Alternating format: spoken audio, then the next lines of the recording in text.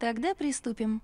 Когда я буду задавать вопросы, отвечай первое, что приходит в голову. Итак, текст называется «Случай на уроке». Скажи имя мальчика, одноклассника, например. Гриша сын Борча. Теперь животное мужского рода. А, крыса, боже. Назови имя учительницы. Кладя Ивановна. Какая? Такая